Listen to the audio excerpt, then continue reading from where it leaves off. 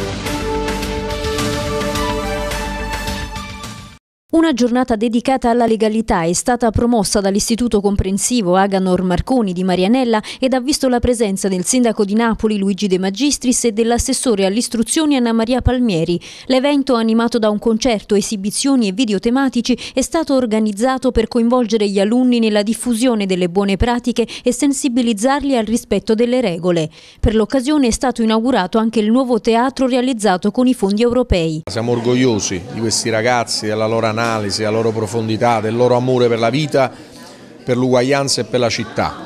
Sono per noi veramente uno stimolo a non mollare mai, a impegnarci al massimo per loro, il nostro petrolio, i nostri ragazzi. Dalla legalità all'impegno civile per la parità di genere, a Scampia l'Istituto Elsa Morante ha partecipato a Suffragetto 2.0, un tour nazionale di cittadinanza attiva nelle scuole superiori per sensibilizzare ragazze e ragazzi sui diritti delle donne. L'iniziativa, ideata dalla scrittrice e attivista Lorella Zanardo, rientra nel programma del Marzo Donna organizzato dal Comune e coincide quest'anno con i 70 anni dal primo voto femminile in Italia il 10 marzo 1946.